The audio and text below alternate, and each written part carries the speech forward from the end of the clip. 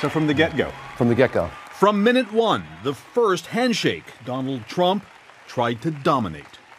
Donald Trump, in this case, took her hand and he touched her shoulder. Okay? It's demonstrating an aspect of control right from the beginning.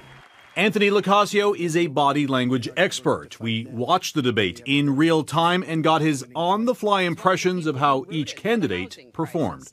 That's called nine, business, by the way. Nine million people. Okay, so we just saw a This disgust was- reaction to Don, from Donald Trump. Okay, where he's disagreeing. So we with are what 12 said. minutes in. Yes. And that was the first sign that, That was- she's starting to Get, under his his skin, and create anxiety.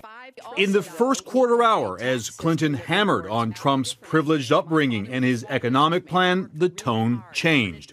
Trump increasingly exhibited in body language his dislike and rejection of Clinton's views.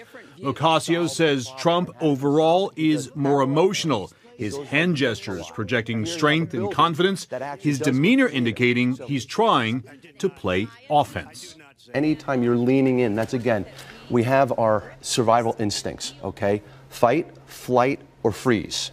Anytime you lean in, It's a fight, okay, I take that's a that's a fight symptom, okay? He says Obviously, Clinton it's not getting is more physical, controlled, it's but her emotions don't match the message she's delivering.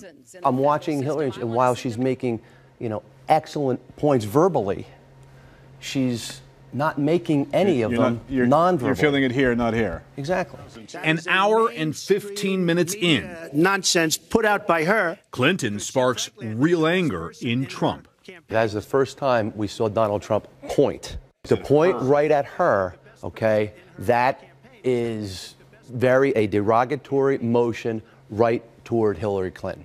Clinton says LoCascio throughout the debate was disciplined in remaining unemotional, her body language throughout dismissing Trump. And the worst part No, of they what we've heard us. Donald say She closed her eyes, she's- again, blocking him out, and she proceeds with her answer.